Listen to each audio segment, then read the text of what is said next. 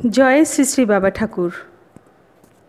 সসংবেদ্য সানুভবদেব শ্রী শ্রী বাবা ঠাকুরকে প্রণাম জানিয়ে, সকল ভক্তবৃন্দকে প্রণাম জানিয়ে আজকে সৎসঙ্গ শুরু করছি। আজকে সৎসঙ্গের শুরুতেই আমরা শ্রী শ্রী বাবা ঠাকুরের একটি উদ্গীত ভজন শুনব।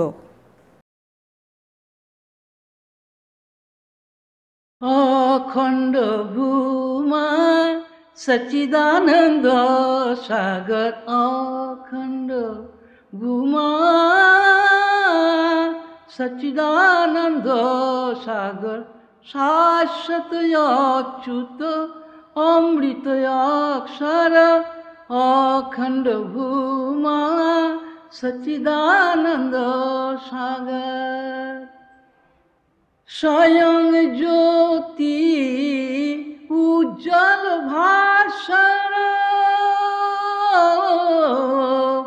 স্বয়ং জ্যোতি উজ্জ্বল ভাষণ।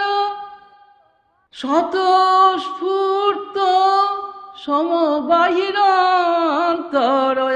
অখণ্ড ভূমা সচিদানন্দ সাগর সচিদানন্দ সাগর।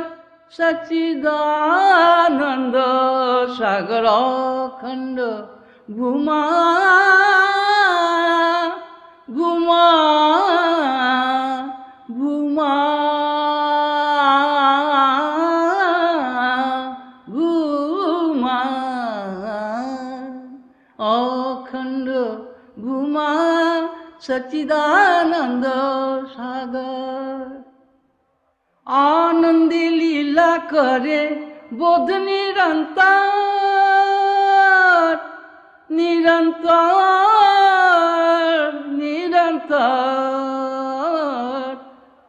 আনন্দে লীলা করে বোধ নিরন্তর, উঠে ভাসে ডুবে বোধ, বোধের ভিতর। মিলনানন্দে বোধ মিলনানন্দে বোধ সুখে বিভোর আনন্দ। লীলায় বোধ নিরন্তর। মিলনানন্দে সুখে বিভোর।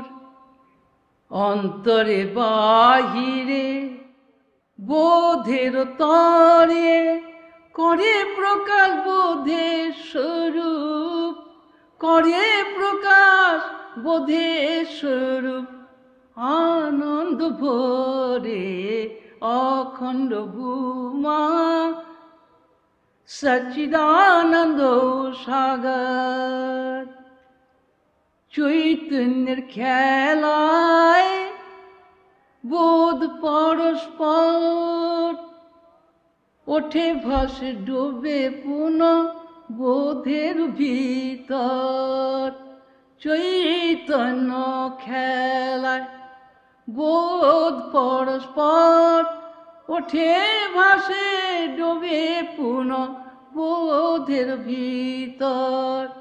তার পরিচয় ব্রহ্ম আত্মা ঈশ্বর তার পরিচয় পরিচয়, তার পরিচয় ব্রহ্ম আত্মা ঈশ্বর, পরব্রহ্ম, পরমাত্মা পরমেশ পরাৎপর পরব্রহ্ম, পরমাত্মা।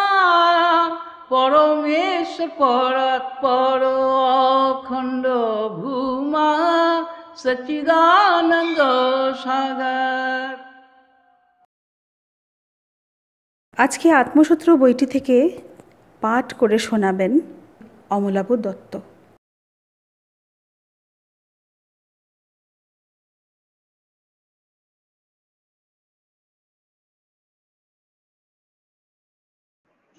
জগতে বিদ্যা, বুদ্ধি, জ্ঞান দেওয়া যায়। কিন্তু কারও মধ্যে শুদ্ধা ভক্তি ও বিশ্বাস তৈরি করা শক্ত। বিশ্বাস ভেঙে দেওয়া যায়। ভক্তিশাস্ত্রে যে বিশ্বাসের কথা পাওয়া যায়, তথাকথিত জ্ঞানীরা তা খুব আমল দেন না। তারা বলেন এটা ব্লাইন্ড ফেথ এই ব্লাইন্ড ফেথ কথাটি শুনে এক মহাত্মা বলেছিলেন ego is more blind than blind faith সত্যি কথা ব্লাইন্ড ইগো সেন্সটা বড় মারাত্মক জিনিস। অহংকার বাড়তে বাড়তে কত দূর যাবে? তারপর তো সব শেষ হয়ে যাবে। অভিমান, অহংকারে অজ্ঞানের বন্ধন বাড়ে। মুক্তির সন্ধান পাওয়া যায় না। পুরীতে একবার এক শঙ্করপন্থী সাধুর সঙ্গে দেখা হয়েছিল। তিনি কথায় কথায় এক সময় একে নিজের দিকে ইঙ্গিত করে জিজ্ঞাসা করলেন, জ্ঞান বিচার ও ভক্তির কথা শাস্ত্রে যেমন আছে, সেসব তত্ত্ব আপনি বুঝতে পারেন? উত্তরে তাকে বলা হলো ব্যাখ্যা বুঝতে পারি না। কিন্তু মূল সূত্র শুনলে সব না হলেও মোটামুটি বুঝতে পারি। একসময় জ্ঞান বিচারের সাধন ও স্বরূপানুসন্ধান আপনা হতেই ভিতরে শুরু হয়েছিল, কিন্তু বাইরে তার প্রকাশ বিশেষ ব্যক্ত করা হতো না। কাজেই অনেকে তা জানতে পারেনি। আপন খেয়ালে নিজের মতোই চলতে চেষ্টা করেছি কারও সঙ্গে আলোচনাও বিশেষ হতো না। পুঁথি পুস্তক পড়ার ইচ্ছা প্রয়োজন হতো না। অন্তরে একটা সহজ সরল ভাববোধের প্রকাশ অনুভব করা যেত। সাধুজি, তবে কি নিয়ে থাকতেন? বলা হলো, কেন অন্তরে অনুভূতির বিশ্বাস নিয়ে থাকতাম? সাধুজি, শুধু বিশ্বাস? ধ্যান করতেন কি করে? বলা হলো সাকার ধ্যান, রূপের ধ্যান মোটেই স্থায়ী হতো না। মনের সামনে কোনো রূপ এলে সব গলে যেত। কি যে থাকতো তা বলা যায় না। সাধু বাবা শুনে অবাক হয়ে গেলেন। বললেন, এই বিশ্বাসটুকু আপনার আছে, তবে তো আপনার আর কোনো কিছুরই প্রয়োজন নেই। আপনি তো ভাগ্যবান। তিনি আবার একে জিজ্ঞাসা করলেন আচ্ছা Shri Ramakrishna mission institute of culture, ওখানে কত রকম শাস্ত্র পাঠের ব্যবস্থা আছে সেখানে আপনি যান না? উত্তর দেয়া হলো, না, ঘরে বসেই বেশি আনন্দ অনুভূত হয়। সাধু বাবা, কীরকম আনন্দ পান তা বলতে পারেন? তাকে বলা হলো, কীরকম আনন্দ অনুভূত হয় তা তিন রকম ভাবে বলা চলে। যেমন, এক খুব গরমের সময় মধ্যাহ্ন কালে প্রখর রোদের মধ্য দিয়ে অনেকক্ষণ হাঁটবার পর ছায়ার মধ্যে ঠান্ডা হাওয়াতে এসে বসলে তখন যে তৃপ্তিটুকু পাওয়া যায়, সেই রূপ তৃপ্তি পাওয়া যেত। দুই, ভীষণ পায়খানা পেলে পায়খানা হয়ে যাওয়ার পর যে রিলিফটুকু পাওয়া যায়, সেই রকম রিলিফ হতো। তিন, খুব ভালো ঘুম হলে যেরকম স্বস্তি পাওয়া যায়, ঠিক সেই রকম স্বস্তি ও শান্তি অনুভূত হতো। মোটামুটি এই পর্যন্ত বলা চলে। এই কথাগুলি শুনে সাধু বাবা হো হো করে হেসে উঠলেন। তিনি বললেন, আপনার তো সব হওয়াই আছে। আপনি আজ যেভাবে বললেন, এভাবে শাস্ত্রে বা অন্য কোথাও কখনো শুনিনি। কি সহজ সরল উপমা দিয়ে যে আপনি বললেন? আরও অনেক কথা নিজের থেকেই সেদিন তিনি জিজ্ঞাসা করেছিলেন এবং তার উত্তরে তাকে যা বলা হয়েছিল শুনে তিনি খুব বিস্মিত ও অভিভূত হয়েছিলেন। তিনি খুব সন্তুষ্ট হয়ে প্রীত মনে অথচ সংযত ভাবে বলেছিলেন, আপনার প্রতিটি কথার মধ্যে অনুভূতির সত্য রূপ ও প্রকাশভঙ্গিমার একটা নতুনত্ব ও অভিনবত্ব আছে। গতানুগতিক ভাব অনুভূতির সঙ্গে তার কোনো সম্বন্ধ নাই। আপনার অন্তরে সহজ অনুভূতির গুরুত্ব, তাৎপর্য ও মৌলিকতা সম্বন্ধে কোনো সন্দেহ বা সংশয় থাকার অবকাশ নেই। ঈশ্বর আত্মার আপনি কৃপাধন্য। অতীতের বহু সুকৃতির সাধন নিশ্চয়ই আপনার ছিল। তার সঙ্গে বর্তমানে ঈশ্বর আত্মার স্বতঃস্ফূর্ত কৃপাধন্য আপনি। আপনার মাধ্যমে ঈশ্বরের কাজ অভিনব ভাবেই সাধিত হবে, ইহা আমার বিশ্বাস ও দৃঢ় ধারণা। আর আপনার মুখ নিঃসৃত অনুভূতির কথা শাস্ত্রে রূপ নেবে এক সময় তাহাও আমার বিশ্বাস। সত্যানুভূতি, স্বরূপানুভূতি যাদের মধ্যে হয়, তাদের কথা হয় সহজ, সরল ও মৌলিক, এবং গতানুগতিকতা ও মতবাদের প্রভাব মুক্ত। আপনার সঙ্গে অল্প সময়ের জন্য দেখা সাক্ষাৎ হওয়ার পরে আপনার মুখের কথা শুনে আমার খুবই আনন্দ হচ্ছে। আপনি শাস্ত্র পাঠ না করে, কারও কাছে শাস্ত্রের শিক্ষা গ্রহণ না করে, সাধন, ভজন ও অনুভূতির প্রসঙ্গে অপরের কাছে কিছু না শুনে ও না জেনে কেবল আপন সংস্কারের তাগিদে অন্তরে স্বরূপানুসন্ধান ও ঈশ্বর ভাবনার দ্বারা যে ভক্তি, নিষ্ঠা ও অনুভূতির সাড়া পেয়েছেন, তাহা সাধারণ নয়। আপনি নিশ্চয়ই ঈশ্বর নির্দিষ্ট বিশেষ পুরুষ। জগতের আধ্যাত্মিক কল্যাণ আপনার দ্বারা হবেই। পড়লাম এই বইয়ের এই যে একুশ নম্বর পাতার যে জগতে বিদ্যা, বুদ্ধি, জ্ঞান দেওয়া যায়, কিন্তু কারোর মধ্যে শ্রদ্ধা, ভক্তি ও বিশ্বাস তৈরি করা শক্ত। বিশ্বাস ভেঙে দেওয়া যায়, ভক্তি শাস্ত্রে যে বিশ্বাসের কথা পাওয়া যায়, তথাকথিত জ্ঞানীরা তা খুব আমল দেন না। তারা বলেন, এটা হলো ব্লাইন্ড ফেথ এই ব্লাইন্ড ফেথ কথাটি শুনে এক মহাত্মা বলেছিলেন ego is more blind than blind faith সত্যি কথা ব্লাইন্ড ইগো সেন্সটা বড় মারাত্মক জিনিস। অহংকার বাড়তে বাড়তে কত দূর যাবে, তারপর সব শেষ হয়ে যাবে। অভিমান, অহংকারে অজ্ঞানের বন্ধন বাড়ে, মুক্তির সন্ধান পাওয়া যায় না।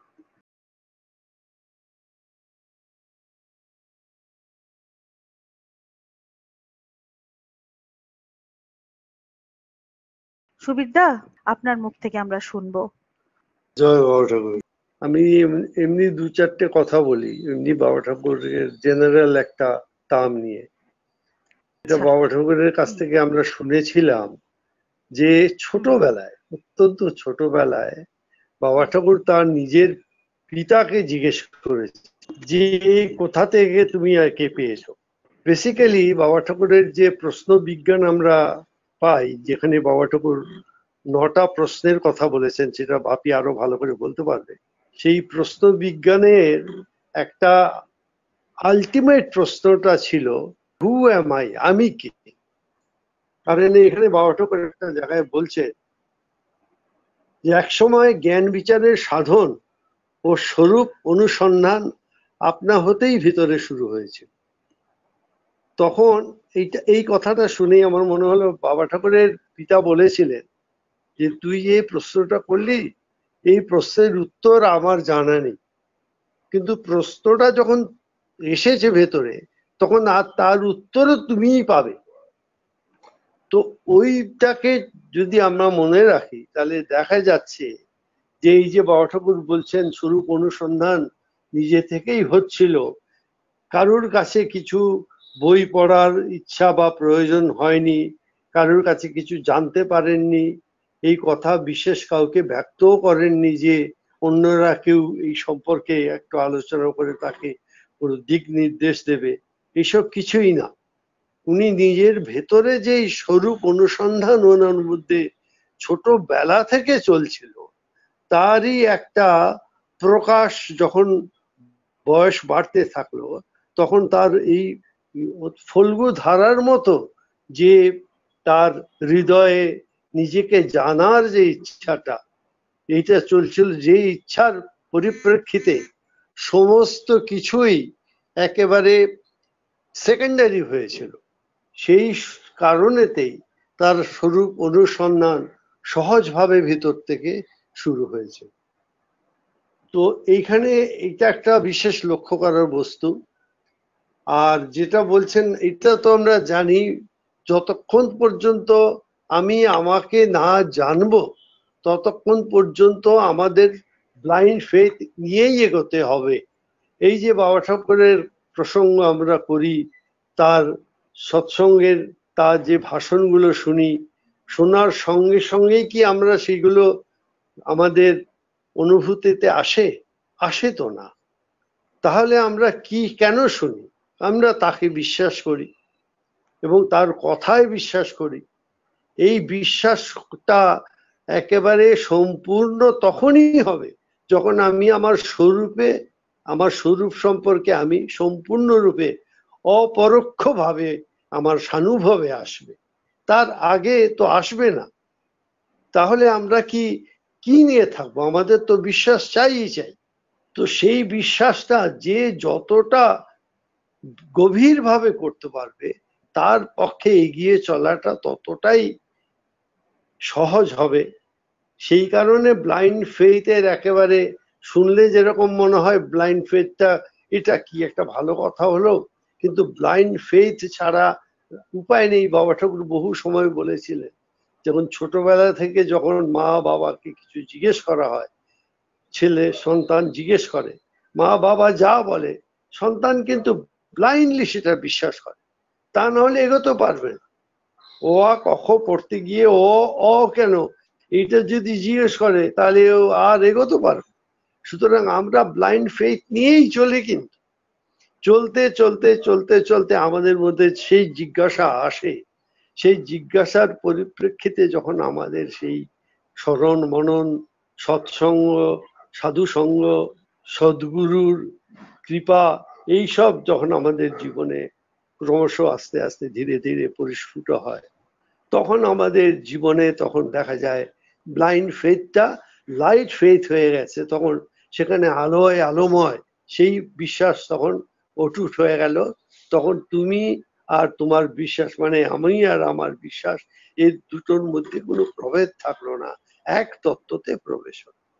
এইটা একটা আর ভারী সুন্দর সাধু মহাত্মা বলেছিলেন, সত্যিই তো, যে ব্লাইন্ড ইগোর থেকে মারাত্মক আর কিছু হতে পারে বেসিক্যালি আজকে আমাদের এই সারা জগৎ জুড়েই যে চলছে, বিভিন্ন লোক বিভিন্ন লোকের সঙ্গে ঝগড়া ঝাঁটি, কারোর সঙ্গে কারোর মিল নেই, প্রত্যেকের সঙ্গে প্রত্যেকের কে কাকে ডমিনেট করবে এইগুলো সমস্ত ব্লাইন্ড ইগোর ব্যাপার।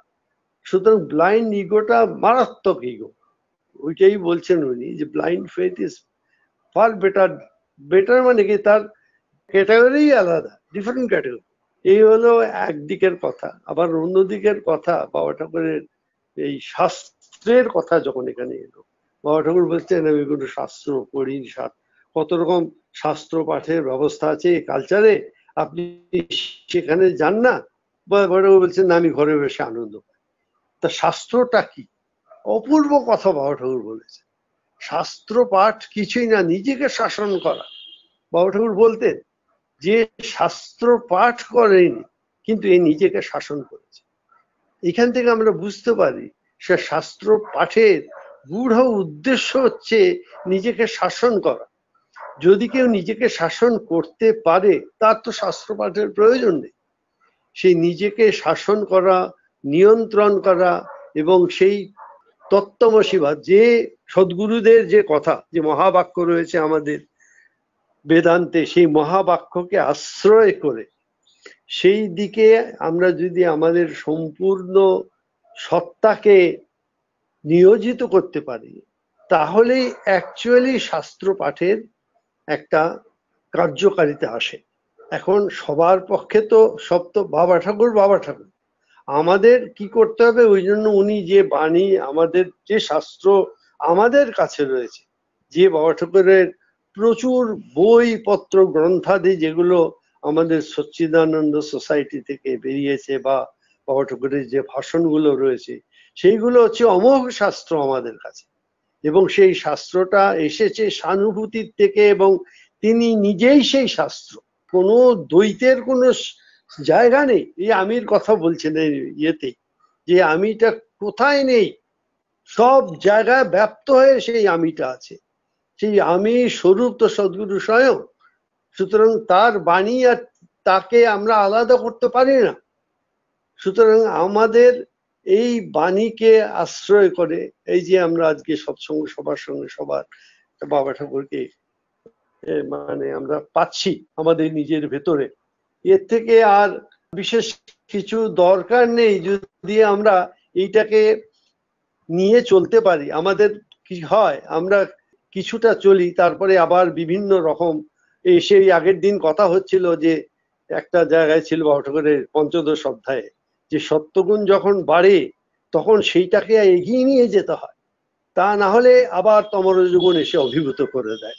তো আমাদের সতর্ক থাকা, আমাদের এগিয়ে চলা, পরস্পর, পরস্পরের সঙ্গে মিলিত হয়ে বাবা ঠাকুরের প্রসঙ্গ করে যেটা চলছি, এইভাবেই আমরা এগিয়ে যাব। এবং বাবা ঠাকুরের আজকের এই পাঠের মধ্যে যেটা এত সুন্দর করে আমরা যেটা পেলাম, এইটাই হচ্ছে মানে বাবা ঠাকুর সম্পর্কে আমরা জানতে পারলাম তার নিজের মুখে। এইটাকে আমরা আরও অনুধান করে আমাদের জীবনকে আমরা যেন চালিত করতে পারি। জয় শ্রী শ্রী বাবা ঠাকুর। জয় শ্রী শ্রী বাবা ঠাকুর। সুবিদ্যা, অপূর্ব কথাগুলো এলো একের পর এক। শ্রী শ্রী বাবা ঠাকুর তার পিতাকে জিজ্ঞাসা করেছিলেন হু এম আই নিজেকে জানার ইচ্ছে শ্রী শ্রী বাবা ঠাকুরের খুব ছোট্ট বেলাতেই ভেতরে এসেছিল। যতক্ষণ আমরা নিজেকে না জানতে পারি, ততক্ষণ পর্যন্ত ব্লাইন্ড ফেথ নিয়েই চলবো। ব্লাইন্ড ফেথ ছাড়া উপায় নেই। সন্তানকে যখন বাবা মা কিছু শেখান বা বলেন, তখন তারা কিন্তু ব্লাইন্ড ফেতেই বাবা মার কথা মেনে নেন। ব্লাইন্ড ইগোর থেকে মারাত্মক আর কিছু হতে পারে না। তাই ব্লাইন্ড ফেথ একটা আলাদা পর্যায়ের কথা এখানে বলা হয়েছে। ব্লাইন্ড ইগো ইজ ডেঞ্জারাস শাস্ত্র পাঠ মানে নিজেকে শাসন করতে পারা, নিয়ন্ত্রণ করতে পারা।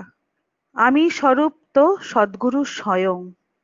সত্যগুণ যখন বাড়ে, তখন এগিয়ে নিয়ে যেতে হয় নিজেকে। তা না হলে আবার তম রজগুণের কবলে পড়তে হবে। খুব সুন্দর কথা। কয়েকটা মনে রাখার মতন পয়েন্টস এবারে আমি শাস্ত্রীজিকে অনুরোধ করব। শাস্ত্রীজি, এই পাঠটার মধ্যে থেকে আরও অনেক কিছু ইম্পর্টেন্ট কথা আছে, আপনার মুখ থেকে আমরা শুনব। জয় বাবা ঠাকুর।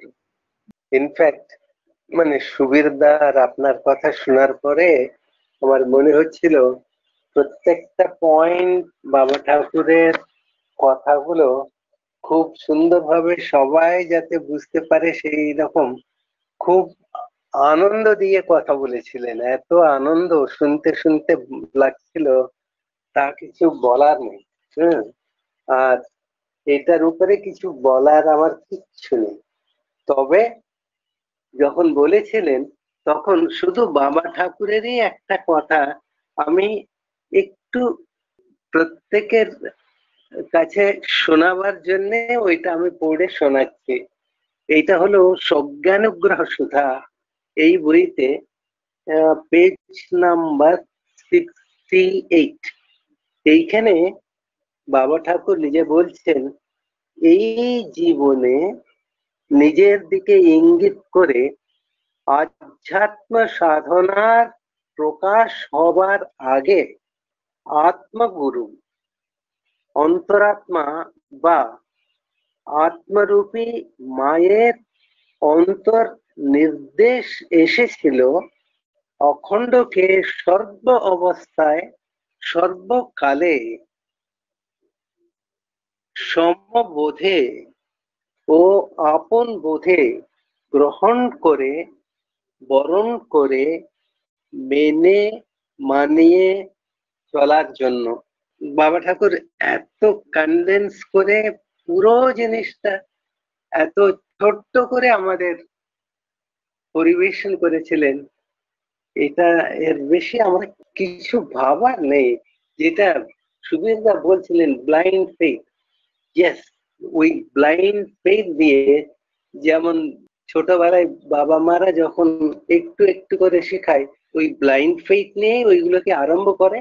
And ultimately everything becomes as he said, light faith অখণ্ডকে সদা মেনে মানিয়ে চলার প্রসঙ্গে অন্তরে এ মানে বাবা ঠাকুর নিজেকে দেখালেন, আরও নির্দেশ পেয়েছিলেন যে সর্বমত পথ, ভাব বা বোধের সাধনা যেইখান থেকে আরম্ভ হয়ে যেখান থেকে শেষ হয়, সেইখান থেকেই আপন বোধ বা সমবোধ সব কিছু দেখা, শোনা, জানা ও মানার অভ্যাসই হলো এর প্রতি আত্মরূপী মায়ের দীক্ষা। সেইভাবেই এ অভ্যস্ত হয়েছে এবং সেই ভাবের কথায় সবার কাছে প্রীতিপূর্বক, আপন বোধে ব্যক্ত করে সর্বাত্মরূপী বাসুদেবের পূজা ও সেবা করে চলেছে। প্রত্যাহিক জীবনের বাহ্য ব্যবহারের মধ্যে আপাত দৃষ্টিতে যত ভেদেই থাকুক না কেন, মূলে সেই পরম একই নিহিত আছে, সেই পরম একই হলো আপন বোধের, আত্মবোধের বা সমবোধের সত্য পরিচয়। এই যে বাবা ঠাকুরের কথা পড়ে আমরা যা পাই, সেই বাবা ঠাকুর নিজেকে নিজে ঢেলে দিয়েছেন। এর বেশি আর আমরা এটাই মনে করে চালার চেষ্টা করা আর কি। জয় বাবা ঠাকুর। আজকে শাস্ত্রীজি শ্রী শ্রী বাবা ঠাকুরের কথা দিয়ে আমাদের সমস্ত যে আলোচনার বিষয়বস্তু সেটি বলে দিলেন। আত্মবোধের সাধনা যেখানে শেষ হয়, সেখান থেকে শুরু হয় মানা। এটাও কিন্তু খুব ইম্পর্টেন্ট লাগল। অনেক কিছু আমি ধরতে পারলাম না, এত তাড়াতাড়ি আমি লিখতে পারলাম না। বেশ মূল্যবান একটি কথা শ্রী শ্রী বাবা ঠাকুরের মুখ নিঃসৃত এবার আমি বাপিদাকে অনুরোধ করব, বাপিদা সুবিরদা যে নটি প্রশ্নের কথা বললেন, ওগুলো নিয়ে একটু আপনি আমাদের সাথে আলোচনা করবেন। সুনেত্রা, নটি প্রশ্নের আলোচনা কিন্তু প্রচুর লম্বা। ওই নটি প্রশ্নের মাধ্যমে আমাদের ভেতরে যে প্রশ্নগুলো জাগে, ওই নটি প্রশ্নের বিজ্ঞানটাকে যদি পূর্ণরূপে তিনি যেভাবে বলেছেন সেটা যদি না করা যায়, কোনো সময় একটা হলে সেটা করা যাবে। নলেজ অফ নলেজের বই থেকে বাবা ঠাকুর এক একটা করে প্রশ্ন এবং সেই প্রশ্নের মধ্যে ধরো তিনটে যে তামসিক প্রশ্ন, তার মধ্যে তামসিক, রাজসিক রাজসিক, তামসিক, এই যে অ্যাডমিক্সচার্ড ব্যাপারও আছে তো একটু ডেপথের ব্যাপার, একটু সময় সাপেক্ষ ব্যাপার। তো ব্যবহারযোগ্য আমরা জীবনে করতে পারি এরকম কিছু কথা যেটা এই ভাষণের মধ্যে পেয়েছি, সেটা রাখি। আমি নিজে খুব ইন্সপায়ার্ড হয়েছি এটা পড়ে, সেই জিনিসগুলোই শেয়ার করব। দেখো, আরম্ভ হয়েছে আমাদের আজকের স্পিচটা জগতে বিদ্যা, বুদ্ধি, জ্ঞান দেওয়া যায়, কিন্তু কারোর মধ্যে শুদ্ধা ভক্তি ও বিশ্বাস তৈরি করা শক্ত। শুদ্ধা ভক্তি এবং শুদ্ধ জ্ঞান, তার মানে রিয়েলাইজড পার্সন কিন্তু। বলছেন, এই যে রিয়েলাইজেশনটা তোমারই ভেতরে আছে এবং সেই জিনিসটা তোমাকে ডাইরেক্টলি নিজে অনুভব করতে হবে, এই জিনিসটা দেওয়ার জিনিস না। আমরা জগতে কি অভ্যস্ত যে বিভিন্ন জায়গা স্কুল কলেজ গুরুজন এদের থেকে আমরা মনে করি যে আমরা জ্ঞান পেলাম সেই জ্ঞানটাকে বুঝলাম, বুঝে তারপরে আমি জ্ঞান পেলাম। এই গোছের একটা ভাব আমাদের ভেতরে কাজ করে। সেই অ্যাঙ্গেল থেকে যদি দেখা যায়, তো বাবা ঠাকুর আমাদের সামনে জ্ঞানের এই জ্ঞান দিয়ে কিন্তু বিগিন করতে হয়। আজকে যে আমরা ব্লাইন্ড ফেথ বলতে পারছি, এই ব্লাইন্ড ফেথ তা জ্ঞান, জ্ঞানের পরে আসছে কিন্তু। জ্ঞান কীরকম? আমি একটা চোরের উপরে ব্লাইন্ড ফেথ করব না কখনো? তো জ্ঞান আমাকে বলে দিচ্ছে যে আমি যদি ব্লাইন্ড ফেথ করি, তাহলে কার উপরে করব? আমরা প্রত্যেকে যারা আরম্ভ করেছি বাবা ঠাকুরের সাথে, আমার অ্যাটলিস্ট এইটাই। আমার ভেতরে প্রচুর প্রশ্ন, বাবা ঠাকুরের কথা এবং বাবা ঠাকুরের আচরণের মধ্যে কোথাও কোনো তফাত আছে কি না আছে, যেরকম জ্ঞান আগে পেয়েছিলাম, সেই জ্ঞান অনুযায়ী আরম্ভ হয়েছিল। তারপরে একটা অবস্থা এসে যখন দেখলাম যে সমস্ত রকমের জ্ঞান যা শিখেছি, জেনেছি, অন্যদের মুখে শুনেছি, এই সমস্ত কিছু এর ধারে কাছে কিছু না। ব্লাইন্ড ফেথটা এলো পরে। ব্লাইন্ড ফেথও না, ঠিক ব্লাইন্ড ফেথটা বিরাট বড় জিনিস। একটা একটা স্ট্রং ফেথ ডেভেলপ করল। ব্লাইন্ড বললে ব্লাইন্ড মানে তো অসাধারণ জিনিস একটা। একটা পূর্ণরূপে যার সারেন্ডার হয়েছে, সেই ব্লাইন্ড হতে পারে। আদারওয়াইজ ব্লাইন্ড হওয়াটা অসম্ভব। ভেতরে খুঁজখুজ করে আমাদের মন যতদিন কাজ করে, বুদ্ধি কাজ করে, এই জিনিসটা আসে না। তো বলছেন, বিদ্যা, বুদ্ধি, জ্ঞান ইত্যাদি আমরা পেয়ে অভ্যস্ত। আসল জ্ঞান কিন্তু আমারই ভেতরে, সেটাও কিন্তু আবার দেওয়া যাচ্ছে না। কিন্তু যে জ্ঞান দিয়ে আমি পথ ধরবো, পথ ধরে কোন পথটা ধরবো, সেই জ্ঞানটা আমি পাচ্ছি। তো এটা একটু খেয়াল করতে হবে। শুদ্ধা ভক্তি ও বিশ্বাস তৈরি করা, তিনি বলছেন, খুব শক্ত। কিন্তু বিশ্বাস ভেঙে দেওয়া সোজা। এই একটা পয়েন্ট ব্লাইন্ড নিয়ে আমরা আলোচনা করলাম। এবারে আর একটা জিনিস যেটা শঙ্করপন্থী সাধুর সাথে আলোচনার মধ্যে থেকে খুব পরিষ্কার করে পেলাম, সেটা রাখতে চাই।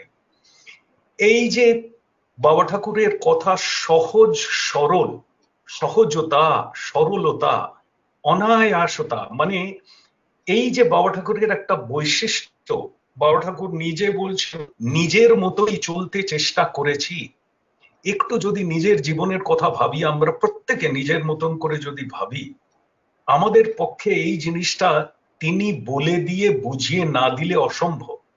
আপন খেয়ালে নিজের মতোই চলতে চেষ্টা করেছি, আমরা কিন্তু ঠিক বিপরীতটা করি।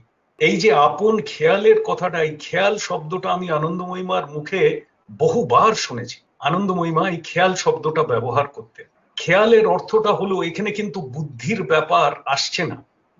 একটা ভেতরে জিনিস উদ্গিত হয়, ভেতরে একটা জিনিস বেরোয়। সেই যে জিনিসটা বেরোয়, সেটাকে ধরেই চলেছে। বাবা ঠাকুরের মুখে একবার তিনি বলেছিলেন, দেখো, কোনো জিনিসে এগোতে গেলে, কোনো প্রবলেম যখন ফেস করো, তখন প্রথম যে আওয়াজটা ভেতর থেকে আসে, প্রথম যে থটটা আসে, চেষ্টা করো সেটাকে ধরবার।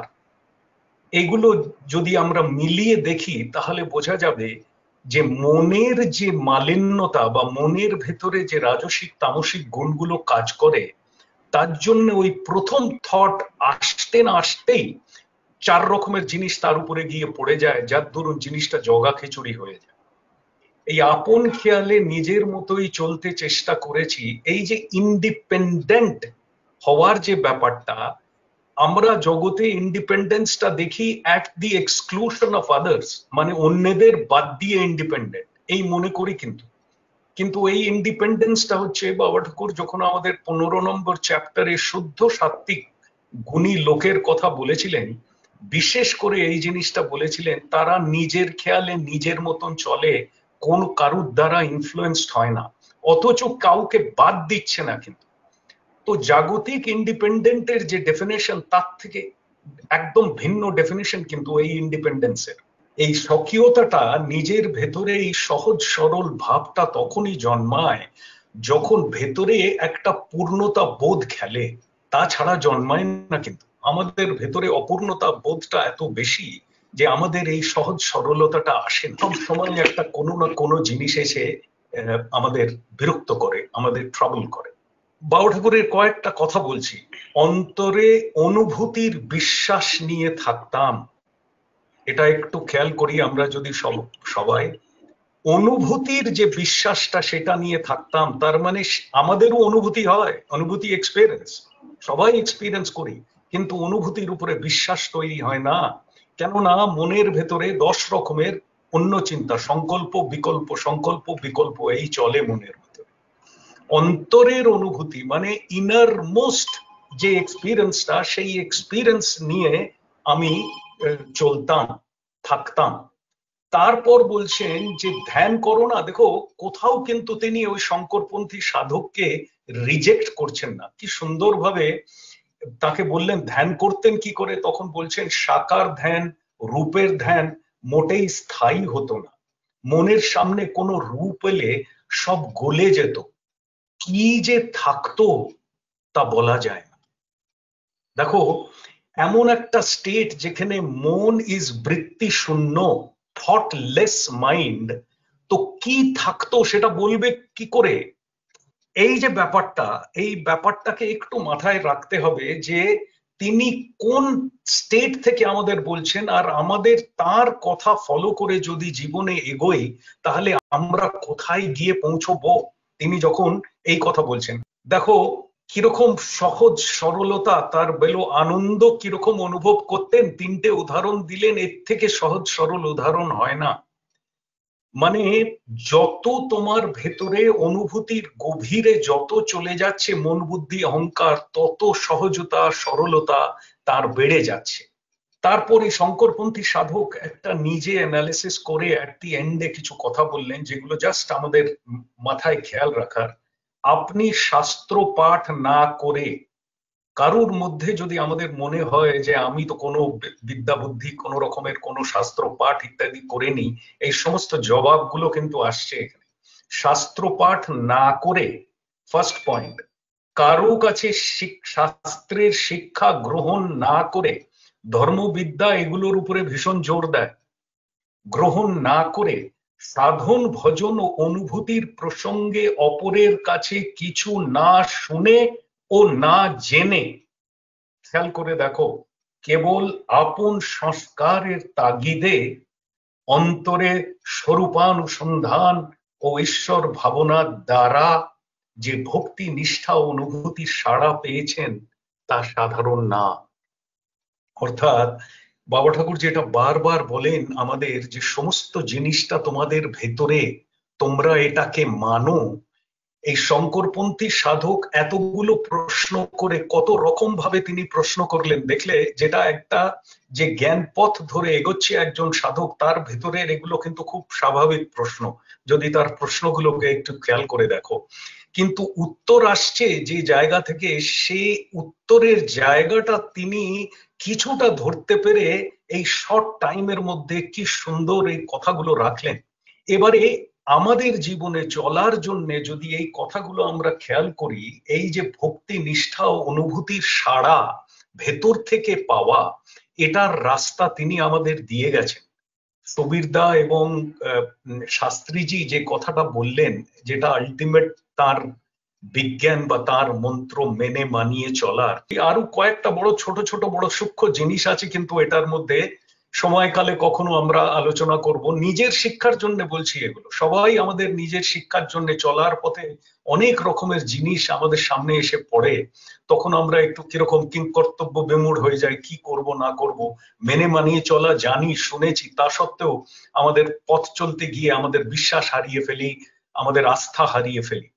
তো এই জিনিসগুলো, ছোট্ট ছোট্ট জিনিসগুলো প্রচুর হেল্প করবে এগিয়ে চলে যাওয়ার জন্য। জয় শ্রী গড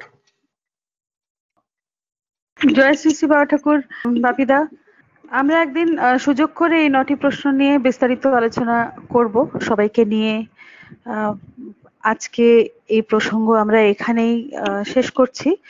এই আত্মসূত্র রিডিং এবং আত্মসূত্র রিডিং পড়ে যে জায়গাগুলিকে ব্যাখ্যা করলেন সুবীরদা শাস্ত্রীজি আর বাপিদা, সেগুলো খুব মনোযোগ সহকারে যারা শুনে থাকবেন বা লিখে থাকবেন, তারা আরেকবার পড়ে দেখবেন যেন কোথা থেকে আমরা এত অমূল্য রত্ন একসঙ্গে জোগাড় করে একটা খাতার মধ্যে লিখে রাখলাম। এবং এটি আমাদের জীবনে প্রচুর কাজে লাগবে। এখন শ্রীমতী অতসী রয় গল্পে আত্মবিদ্যার থেকে একটি গল্প পাঠ করে শোনাবেন।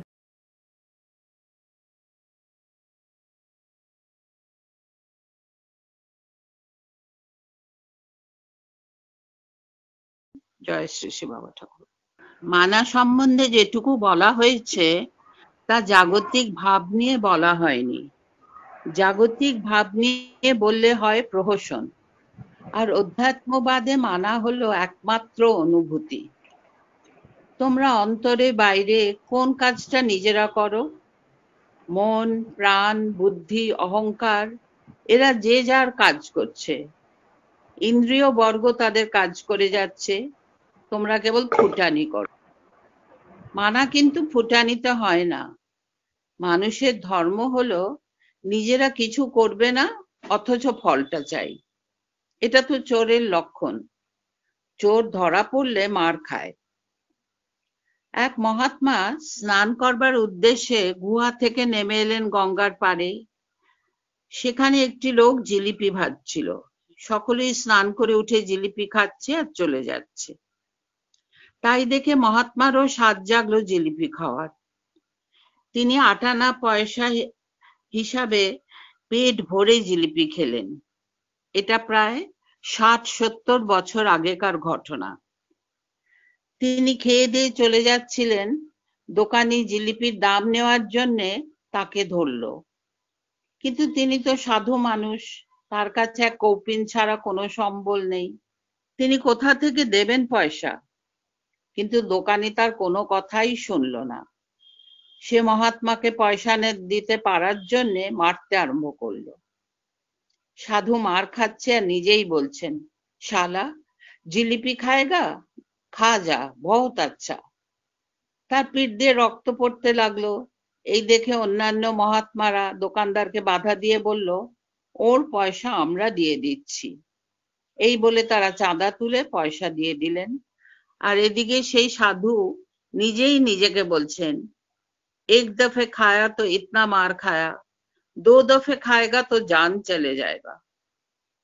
গল্পটি শেষ করে শ্রী শ্রী বাবা ঠাকুর বললেন, একটি ইচ্ছা থেকেই আসে অর্জন, গর্জন ও বর্জন। যোগ্যতা থাকুক আর নাই বা থাকুক, ইচ্ছা থাকবেই। ইচ্ছাকে কে বাঁধবে?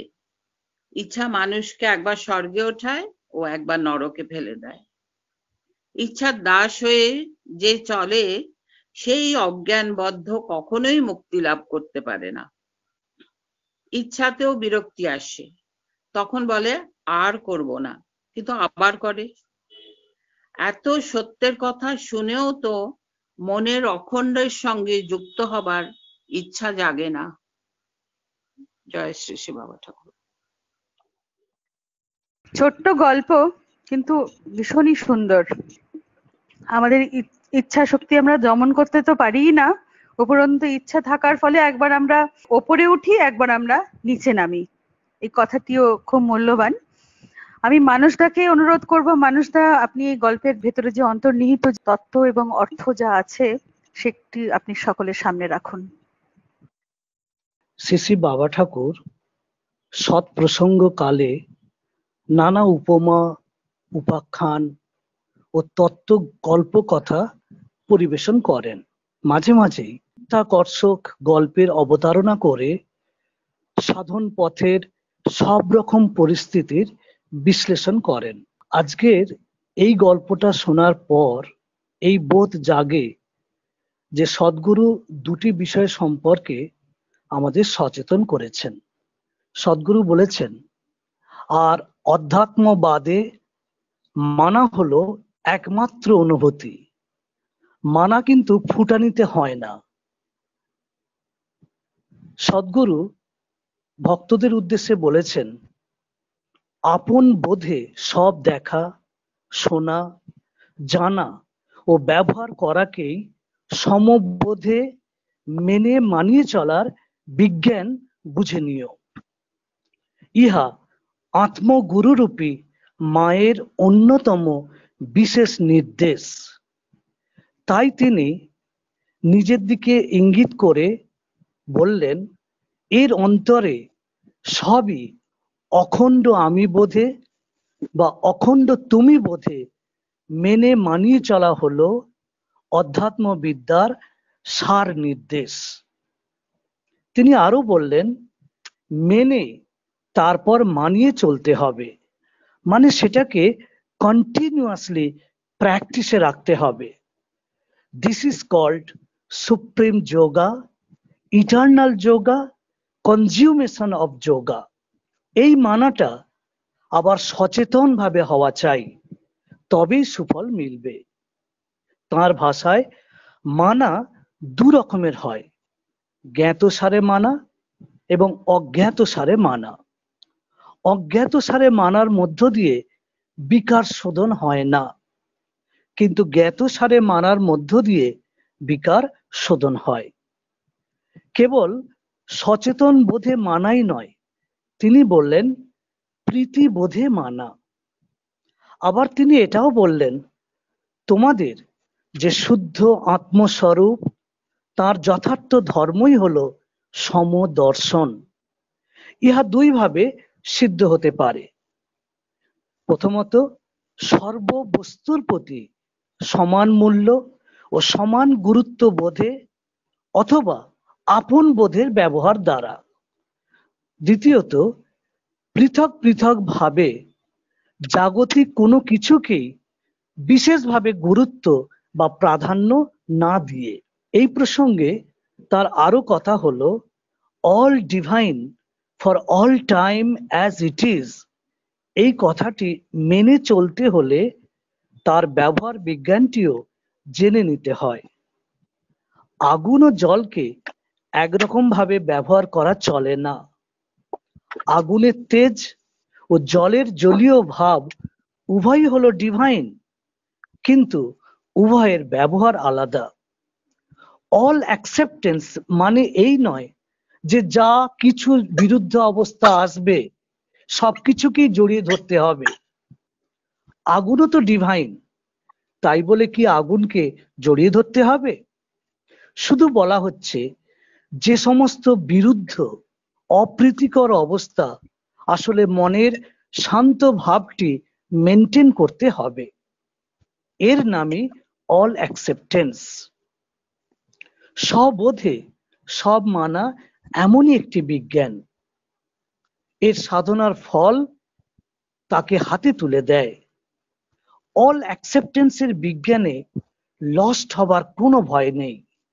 এই বিজ্ঞান মানার ফলে একটা লাভ হবে এই যে, আমাদের জীবনে যদি পাঁচ হাজার ঘটনার সম্মুখীন হতে হয়, তবে মানার ফলে এর খুব কম সংখ্যক ঘটনার সম্মুখীন হব। ফলে আমরা কম বিব্রত হব। All divine for all time as it is এইভাবে মানার ফলে একেবারে সত্য যুগের অভিব্যক্তি হবে সকলের মধ্যে। তখনই অনুভূত হবে যে বিশ্ব ও ঈশ্বর অভেদ ও এক। জগৎ ও জগৎ জননী অভেদ ও এক। বিশ্ব ও বিশ্বাতীত যিনি, তিনিও অভেদ ও এক। জগৎগুরু ও বেষ্টিগুরু অভেদ এক।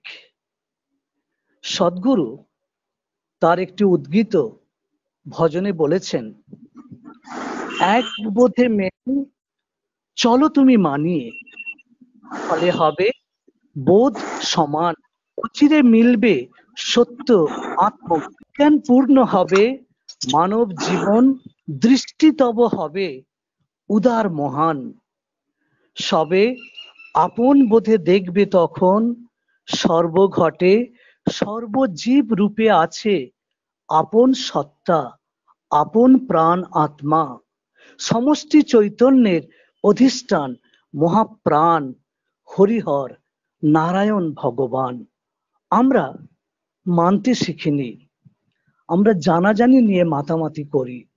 সদ্গুরু বললেন, জেনে তুমি কোনো দিন কুলকিনারা পাবে না, কিন্তু মানলে সমাধান এসে যাবে। যারা মানা দিয়ে জীবন আরম্ভ করে, তারা ঠকবে না। কিন্তু মানতে আমরা শিখিনি। আমরা ঠ্যাটামি করতে শিখেছি। অহংকার নিয়ে মানার বিজ্ঞানকে গ্রহণ করা যায় না। এখন অহংকার এমনই জমিয়ে বসেছে, অনেক দিনের অভ্যাস তো, সে বুড়ো হাড়ে চলতে পারে না, তবু কিন্তু আশা ছাড়ে না। এই অহংকারের এই মহিমা আশা আশা আশা। আশা আসছে কোথা থেকে? লোভ থেকে। লোভ কেন? লোভ হয় অজ্ঞানে। নিজ অতিরিক্ত বস্তুকে পাবার যে ইচ্ছা, নিজ অতিরিক্ত কিছুই সত্য নয়। এটা কেউ তো শেখায় না। আমাদের আরও লোভ বাড়িয়ে দিচ্ছে সবাই।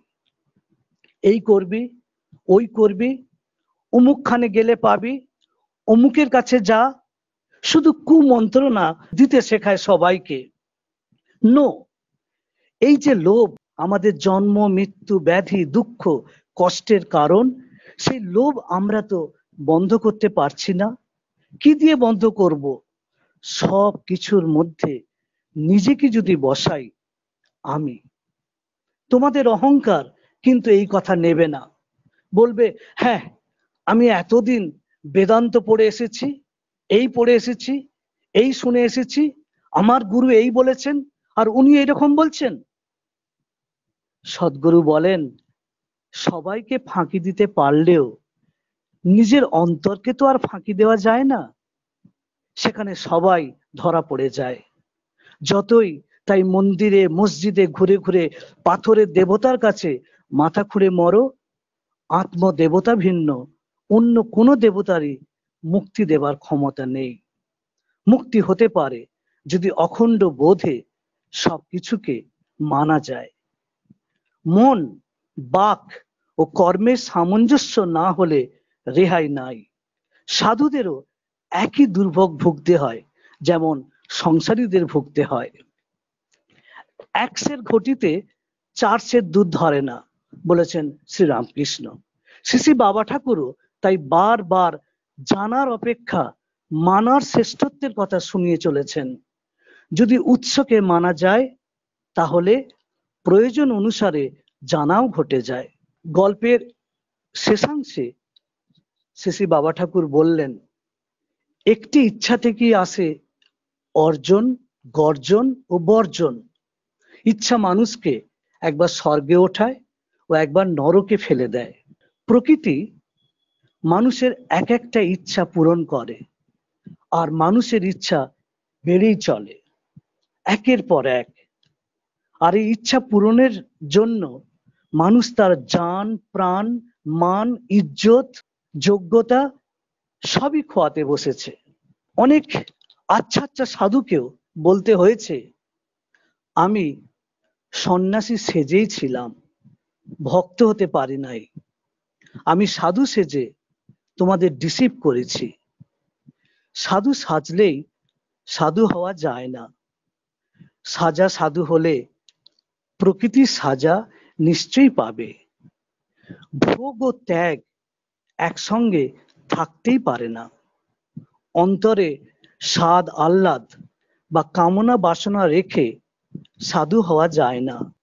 সাত শূন্য মনে, কামনা বাসনা শূন্য সাধু হওয়া যত কঠিন সাধুতা রক্ষ করা ততোধিক কঠিন। যথার্থ সাধু ঈশ্বর আত্মা বোধের জন্য বিষয় সুখ পরিহার করে দুঃখকে বরণ করে নেয়। সদ্গুরুর কণ্ঠ থেকে উদ্গীত হয়েছে, শুদ্ধ চিত্ত যার, সেই সাধুজন। শ্রদ্ধা, ভক্তি, বিশ্বাসে পূর্ণ জীবন। সত্য ভিন্ন সে দেখে না কখনো, সত্য ভিন্ন সে মানে না কখনো। অন্তরে সত্যবোধ যার হয়েছে ধারণ, বাহিরে সাধু বেশ, তার কি বা প্রয়োজন? অন্তরে গুণে সে দেখে, সবে নারায়ণ, সত্য শূন্য, বাহ্য বেশ, কপট আচরণ। সত্য সাধুর বেশ, তার সম ব্যবহার মিথ্যা সাধুর ঢং ঢাং কেবল সার। সাধু চিনিতে, মন, দেখো কাজ তার। বেশে বাক্যে ভুলিলে হবে জীবন ভার। অহংকর্তা, কাম, মান, শূন্য যেজন প্রকৃত সাধু বলে তাকে মেনো মন। প্রীতিযুক্ত তার স্বভাব সেবা পরায়ণ। সাধু সেবায় সাধু হয়, ইহা সাধুর বচন। গুরু বোধে সব গ্রহণ করলে কামনা বাসনা ও ভোগের ইচ্ছা চলে যায়। এই প্রসঙ্গে শ্রী বাবা ঠাকুর একটি ঘটনার কথা বললেন। প্রণবানন্দ স্বামীজি একবার কার্য উপলক্ষে গ্রামে গ্রামে ঘুরে বেড়াচ্ছিলেন। পরিশ্রান্ত হয়ে তিনি ঘরে ফিরে এলেন। তখন সন্তানরা তার কাছে এলো সেবা করার জন্য। একজন সন্তানকে তিনি জিজ্ঞাসা করলেন, কি রান্না হয়েছে আজ? সন্তানটি জানালো, ছোলার ডাল ও তরকারি রান্না করা হয়েছে। ছোলার ডাল তৈরি হয়েছে শুনে আহ বলে একটি তৃপ্তির নিঃশ্বাস ফেললেন প্রণবানন্দ স্বামীজি। কিন্তু পর মুহূর্তেই তার মনে হলো, আমার একই হয়েছে? সন্ন্যাসী হয়ে সব ত্যাগ করে চলে এসেছি, অথচ এখনও লোভ রয়েছে এই সামান্য ছোলার ডালের জন্য? তিনি কেঁদে ফেললেন। আক্ষেপ করে তিনি বললেন, এ কি করলে ঠাকুর? ছোলার ডাল শুনে আনন্দ হলো, এখনও এত লোভ রয়েছে। খাবার যখন এলো, তখন মনে মনে বললেন, ভগবান, তুমি এই বেশে এসেছ, তোমাকে প্রণাম জানাচ্ছি। ভগবান বোধ আসাতে সেই মুহূর্তে লোভ চলে গেল। এইভাবে লোভকে, কামকে জয় করতে হয়। জয় শ্রী বাবা ঠাকুর। জয় শ্রী শ্রী বাবা ঠাকুর, মানুষদা একটা খুব সুন্দর কথা আমার এখানে লাগল। মানুষরা যেটি পড়ছিলেন শ্রী বাবা ঠাকুরের কথা। সত্যকে যে অন্তরে করেছে ধারণ, সাধু বেশ তার কি বা প্রয়োজন? আমাদের সদা সর্বদা গুরুকে সঙ্গে নিয়ে চলা এবং এই যে ছোট ছোট যে বৃত্তিগুলো যে অন্তরে আসছে যে সামনে কিছু দেখলাম, ভীষণ ভালো লাগল বা কিছু পাওয়ার একটা ইচ্ছে, এটাকেই গুরু বা মা বোধে আমাদের মেনে নিতে হবে। না হলে কিন্তু আবার সেরকম খুব ইচ্ছে হবে সেটাকে আমরা একটা ভোগ করার চেষ্টা করব। তারপর আমাদের একটা রিয়াকশনারি এফেক্টের মধ্যে পড়তে হবে। সুনেত্রা বাবা ঠাকুর একটা জিনিস বলছেন যেটা আমরা সবাই নিজেরা নিজেকে জিজ্ঞেস করে একটা খুব ইজি একটা সমাধান পেতে পারি। যদি খেয়াল করে দেখো বাবা ঠাকুর বলছেন তোমরা অন্তরে বাইরে কোন কাজটা নিজেরা করো? মন, প্রাণ, বুদ্ধি, অহংকার, এরা যে যার কাজ করছে, ইন্দ্রিয় বর্গ তাদের কাজ করে যাচ্ছে, তোমরা কেবল ফুটানি করো। এই একটা বিরাট বড় ইঙ্গিত দিয়ে দিচ্ছেন জাস্ট আমাদের সচেতন জাগবার জন্য একটা খুব সুন্দর লাইন ধরিয়ে দিয়েছেন। তো খুব সুন্দর আলোচনার মাধ্যমে আজকে এই গল্পটি শেষ হলো। বারবার ওইটাই সচেতন করাচ্ছেন যে সবকিছু তার, কিন্তু ব্যবহার করার সময় আমরা নিজের বলে ব্যবহার করছি, সে যে যাই করছি। তো এখানেই অজ্ঞানতার কথাটা আসছে এবং এখানেই চেক করার বিষয়। তো বারবার এটি শুনছি, আমাদের সৎসঙ্গের মাধ্যমে আমরা অনেক কিছু জানতেও পারছি।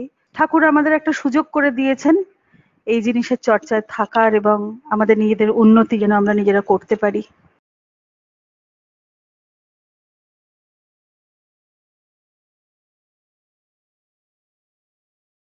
সুবীরদাকে এখন অনুরোধ করব আমাদের যে south India tour Shri Shri Baba ঠাকুরের সঙ্গে যে স্মৃতিচারণ তিনি করছিলেন গত সপ্তাহ থেকে, যেটি আরম্ভ হয়েছে, সেই জিনিসটার কন্টিনিউয়েশন থেকে আবার আমরা শুনব আজকে।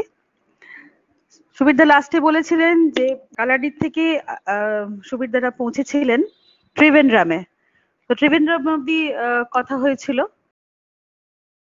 জয় বাবা ঠাকুর। আজকে আমরা ওই ইয়েতে পৌঁছে গেছি, ত্রিবান্দ্রম। আমরা সবাই ত্রিবান্দ্রমে আছি। তো এখন আমি আমি চাইছি যে আমরা আবার ব্যাক করে কালারি চলে আসি। কারণ আমি কিছু ভুলে গেছিলাম। আমার পরে মনে পড়ল, তো আমি ওটা সবার সঙ্গে শেয়ার করতে চাই। এই কালাডিতে আসার আগে কি পরে হবে, সেটা একদম মাথা থেকে বেরিয়ে গিয়েছিল। আমরা গিয়েছিলাম গুরুবায়ুর টেম্পল সবাই নাম শুনেছে কেরালা। গুরুবায়ুর টেম্পল মানে বিষ্ণুর, কৃষ্ণের বিষ্ণু যাই বলো, নারায়ণের টেম্পল এই টেম্পলের বিশেষত্ব হচ্ছে গিয়ে সকালবেলা যে মূর্তিটা থাকে সেটা বাল গোপালের মূর্তি। তারপরে দুপুরবেলা যে হয় তখন তিনি একেবারে কিশোর, তারপরে মানে মূর্তি চেঞ্জ হয়, কালার ইয়ে গুরুবায়ুর টেম্পলে যেমন সকাল থেকে বিকে দুপুরে একরকম সন্ধ্যাবেলা আরেক রকম হয়ে তারপরে আবার পরের দিন সকাল থেকে ওটা হতে থাকে। ইট ভেরি ইন্টারেস্টিং এবং one of the most famous temple in India যাই হোক, আমরা তো ওখানে গেলাম গিয়ে একটা হোটেলে উঠলাম। কারণ মন্দিরের কাছাকাছি কোথাও উঠতে হবে। সকালবেলাও যাব, দুপুরেও যাব, দেখব আর কি, বিভিন্ন রূপ তার। তো আমরা গিয়ে ওখানে উঠলাম একটা হোটেলে। এবার খাওয়ার আনতে যাওয়ার জন্য বাইরে গেলাম। তো বাইরে গিয়ে বা আমাদের ছিল যে আমা, আমরা এমন খাবার আনব যেটাতে অ্যাটলিস্ট টক নেই এবং পেঁয়াজ নেই। মানে নাইনটি নাইন পার্সেন্ট খাওয়ার মধ্যে দুটো থাকবেই থাকবে। তো সেইখানে বেরিয়েছি। আমি বেরোবার পরে আমি গিয়ে জিজ্ঞেস করছি, কেউ বুঝতেই পারছে না। হিন্দি বোঝে না, ইংলিশ বোঝে না, কিছুই বোঝে না। আমি জিজ্ঞেস করছি যে এরকম মানে আমার মতো করে আমি এক্সপ্রেস করার চেষ্টা করছি। এমন সময় এক ভদ্রলোক, তিনি কলকাতায় কাজ করেছেন সাউথ ইন্ডিয়ান তিনি আমাকে বললেন যে, শোনো, এইটা যদি জিজ্ঞেস করবে, আরে বলি উন্ডা পেঁয়াজ নেই। এইরকম একটা আমার যতদূর মনে পড়ে আর কি। আমাদের আরেকজন রসিক ছিলেন আমাদের নিরঞ্জন দা।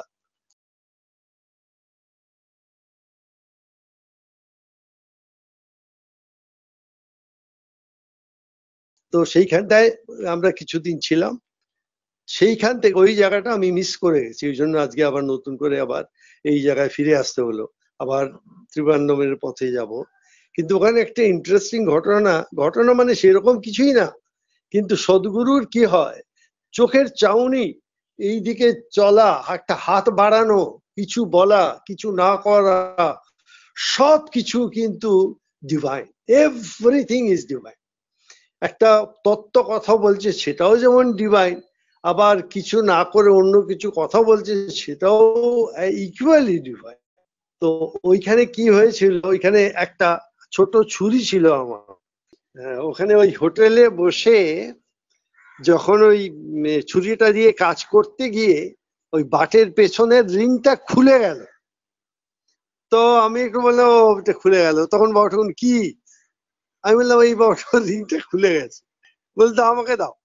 তখন বাবা ঠাকুর ওই ছুরিটা আর ওই রিংটা কিচ্ছু নেই আমাদের হাতে। আমরা তো হোটেলে আছি আমাদের কাছে কি থাকবে কিছুই নেই। আর বাবা ঠাকুর ওটাকে আবার ফিট লাগাবেন ওটা। কিছুতেই লাগানো যাচ্ছে না। কেন? কোনো মানে ইনস্ট্রুমেন্টও কিছু দরকার ধরে রাখার জন্য বা পেটাবার জন্য বা কিছু করবার জন্য। আশ্চর্য, প্রায় হাফ এন আওয়ার বাবা ঠাকুর ওটা ছাড়ছেন না। আমি বললাম, বাবা ঠাকুর থাক ওটা পরে আমি ঠিক করিয়ে নেব। এমন কিছু না। কি বাবা ঠাকুর তো কোনো কথাই শুনছেন না। বাবা ঠাকুর ওটাকে লাগাবেনি। ঠিক আধ ঘণ্টা চল্লিশ মিনিট পরে ওটা ঠিক লাগিয়ে দিলে। আমি আশ্চর্য হয়ে দেখলাম, এটা কি করে লাগল? এটা ঠিক লাগল খালি না। এইটা এখনও আমার কাছে সেই ছুরিটা আছে। যে ছুরিটা এই বোধহয় মাস ছয়েক আগে হঠাৎ আমারই দোষে ওই রিংটা আবার খুলে গেছে। কিন্তু এতদিন সেই রিংটা ছিল, আমি ব্যবহার করেছি। ওই আধ ঘন্টায় কি করে এটা করলেন উইদাউট এনিথিং আমি জানি না। কিন্তু এটা একটা ঘটনা ঘটেছিল। তারপরে আমরা ওই দর্শন হলো, উলি উন্ডা উলি আম্মা হলো, ওই দুধ আর বানরুটি আর কলা খেয়ে তারপরে আমরা ওখান থেকে বেরিয়ে চলে গেলাম ওই ত্রিবান্দ্রমে। তো ওই ত্রিবান্দ্রমের ঘট- ঘটনা অলরেডি বলা হয়েছে। তারপরে আমরা যাব কন্যাকুমারী। তো আজকে আমি এতটা বলছি, কারণ আমি আরেকটা অন্য কথা বলতে চাই। অন্য কথা বলতে চাই হচ্ছে এই, আমাদের একজন মা ছিলেন। তাকে আমরা যারা এখানে উপস্থিত তারা হয়তো তার সম্পর্কে বেশি শোনেনি বা হয়তো শুনেও শুনে থাকতে পারে। তাকে আমরা বোম্বের মা বলতাম। এই বোম্বের মার কে নিয়ে আরেকদিন আমরা কিছু কথা বলব আমরা এই এই প্রসঙ্গে। আজকে আমি খালি ছোট্ট করে একটা কথা বলছি এই কারণে। যে অনেক কথা আছে, সেগুলো আমি পরে বলব। তারপরে ওই মা, এই মা কিন্তু প্রথম বাবা ঠাকুরকে, আর বাবা ঠাকুরের যদি কোনো তোমার ওই বাণী যেটা বাবা ঠাকুর বলেছেন, বাণীর যদি কোনো মূর্ত বিগ্রহ থাকে, বাবা ঠাকুরের যে পরম বাণীগুলো, তার মূর্ত বিগ্রহ হচ্ছেন মা। আর মা একমাত্র বাবা ঠাকুরকে চিনেছিলেন, আমরা কেউ চিনতে পারিনি। মায়ের কাছে বাবা ঠাকুরের নিজের স্বরূপ প্রকাশ করেছিলেন। এটা আমার ব্লাইন্ড ফেথ বলতে পারো মানে বিশ্বাস। তো যাই হোক, এইটা এই প্রসঙ্গ আজকে আনলাম এই কারণে যে দুদিন আগে, কালকে বোধ খুব সম্ভবত পন্ডিত যশরাজ মারা গেছেন। তো আমি সেইবার আমাদের ডোভারল্যান্ড মিউজিক কনফারেন্সে গিয়েছিলাম। তো সেইখানে সেই শ্লোকটা শঙ্করাচার্যের নির্বাণষ্টকম যেটা ওম মনোবুদ্ধ হংকার চিত্তানি নাহং, এই দিয়ে শুরু শঙ্করাচার্য। বাবা ঠাকুর একটা শ্লোক ইউজ করেছেন। সতেরো এক দু হাজার দুই তারিখে কালীবাড়ি যে ভাষণটা দিয়েছিলেন, সেই ভাষণে রয়েছে। সেই ভাষণটি একটা অংশ ইউটিউবের পঁয়ষট্টি নম্বর অংশে আছে যেখানে এই নির্বাণষ্টকমটা পাওয়া যাবে সেই গানটা দরবারি কানাডাতে জয়সরাজ ওই ডোভারলেন মিউজিকে গিয়েছিলেন এত ভালো লেগেছিল এত আনন্দ হয়েছিল मनोबुद्ध्यहङ्कार चित्तानि नाहं न च श्रोत्रजिह्वे न च घ्राणनेत्रे न च व्योमभूमीण न वायुश्चिदानन्दरूपः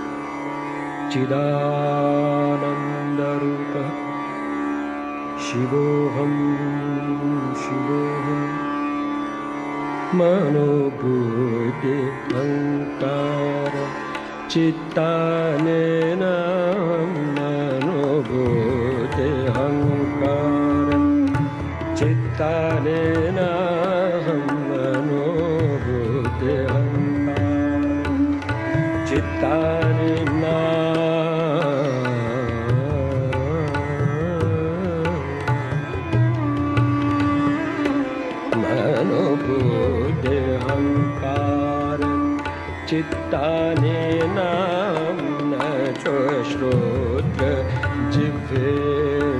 च घ्राणनेत्रे न च श्रोत्र जिह्वे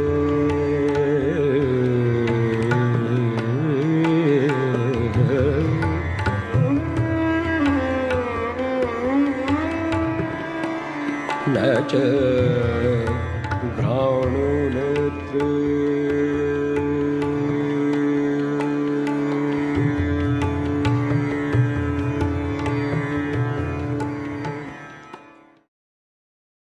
তারপরে কয়েকদিন বাদে আমি আমাদের সোসাইটিতে গেছি। গিয়ে দেখি জয়সরাজ উপস্থিত। তো বাবা ঠাকুরের সঙ্গে কথা বলছেন। তো আমিও ওখানে গিয়ে উপস্থিত হলাম। আমার আমার খুব হঠাৎ দেখলাম যে তার কথা ভাবতে ভাবতে সে আবার এখানে উপস্থিত হলো। আজকে আমরা তার প্রতি একটু শ্রদ্ধাও জানাচ্ছি। তার এত মহান আত্মা কৃষ্ণ ভক্ত এবং মায়ের মাকে ভীষণ ভালোবাসতেন আর মাও অত্যন্ত স্নেহ করতেন। কেন কি মায়ের যে ছেলে সুব্রত দা সুব্রত দা আর যশরাজ দুজন ভাইরা ভাই, শান্তারামের দুই কন্যাকে দুজন বিয়ে করেছিলেন এবং সুব্রতদার বিয়েটা অ্যাকচুয়ালি বাবা ঠাকুরের মাধ্যমেই হয়েছে। কারণ মা বাবা ঠাকুরের ওপরে দায়িত্ব দিয়েছিলেন যে যদি বাবা ঠাকুর রাজি হন, সম্মত হন, গিয়ে সন্তারামের সঙ্গে কথা বলে সবকিছু করে তারপরে বাবা ঠাকুরের সম্মতিতেই এই সুব্রতদার বিয়ে হয়েছিল। আর ওই জয়সরাজও তারই ভাইরা ভাই তো ইনি চলে গেলেন কালকে, গতকালকে নব্বই বছর বয়সে। তো তার আত্মার কথা ভাবতে বাবা ঠাকুরের কথা মনে পড়ল। সেই আমাদের মেট্রোপলিটনে তিনি এলেন, তার কিছু তিনি আমাদের বাবা ঠাকুর তো আর কিছু নেন না, তো সোসাইটির প্রতি তার কিছু সেবাও উনি করলেন, করে চলে গেলেন। তো এইটাও একটা, কিন্তু একটা ঘটনা। যে ঘটনার সাক্ষী আমি একমাত্র ছিলাম, সেদিন ওই মেট্রোপলিটনে আর কেউ ছিলেন না।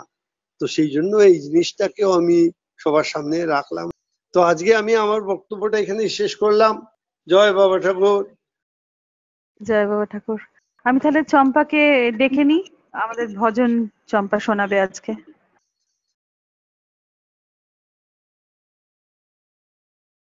সচিদানন্দ মা মা গো অম্বা, ভবানী। সচিদানন্দময়ী মা मा गो अम्बा भवानी सर्वात्मिका सर्वशक्ति सर्वार्थसिद्धि साधिनी सर्वात्मिका सर्वशक्ति सर्वार्थसिद्धि साधिनी सच्चिदानन्दमयि मा मा गो अम्बा भवानी। गिरिजा गौरी नारायणी। ब्रह्म विद्या उमा ब्रह्मजनी। गिरिजा गौरी नारायणी। ब्रह्म विद्या उमा ब्रह्मजनी गायत्री सावित्री जगद्धात्री माँ सृष्टि स्थिति संहारिणी। गायत्री सावित्री जगद्धात्री माँ सृष्टि स्थिति संहारिणी। दुर्गति दुर्गतिनाशिनि दनुजदलानि विमला मङ्गला दुरितो नाशिनी, धनुज दनुजदलानि विमला मङ्गला दुरितो हरिणि। भक्तो बचोला माता आद्या शक्ति सनातनी भक्त बचला माता आद्या शक्ति सनातनी सचिदानंद मोहिमा मागो अम्बा, आ, भवानी। अन्नदा प्राणदा ज्ञानदा मोक्षदा वरदा सारदा भक्ति मुक्तिदायिनी अन्नदा प्राणदा ज्ञानदा मोक्षदा वरदा सारदा भक्ति मुक्तिदायिनी देवी भगवती ब्रह्मात्मा स्वरूपिणी पार्वती दुर्गा जगत जननी देवी भगवती ब्रह्मात्मा स्वरूपिणी पार्वती दुर्गा जगत जननी। त्रिभुवन धारिणी ईशानी सर्वाणी परमेश्वरी माता शिवानी कल्याणी। त्रिभुवन धारिणी ईशानी सर्वाणी परमेश्वरी माता शिवानी कल्याणी। सचिदानंद मोई मा। মাগো অম্বা ভাবানী। নাদ বিন্দু রূপিণী মাতা, স্বভাব লীলা বিলাসিনী। নাদ বিন্দু রূপিণী মাতা, স্বভাব লীলা विलासिनी समधिनी समित लादिनी माता स्वबुधो निरञ्जनी। समधिनी समित लादिनी माता स्वबुधो निरञ्जनी। महादादि कारण प्रज्ञा प्रसिद्ध पुराणी सम्होदी माता बोधिनी महादादि कारण प्रज्ञा प्रसिद्ध पुराणी सम्होदी माता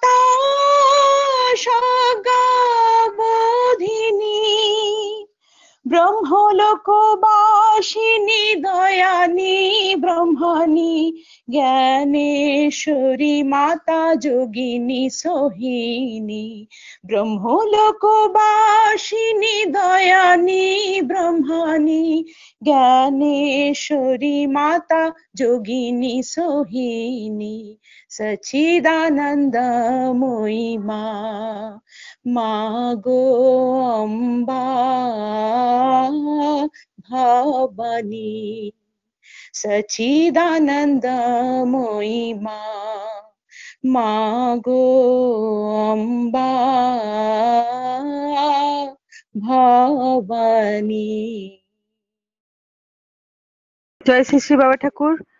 আজকের অনুষ্ঠানের কথা ভাষায় প্রকাশ করা যাবে না। ঠাকুরকে একটাই প্রার্থনা, ঠাকুর, তোমার কৃপা অপরম্পার। এইভাবে যুক্ত রেখো তোমার সঙ্গে এবং সকলে যেন আমরা পরস্পরের সাথে যুক্ত থাকতে পারি। ॐ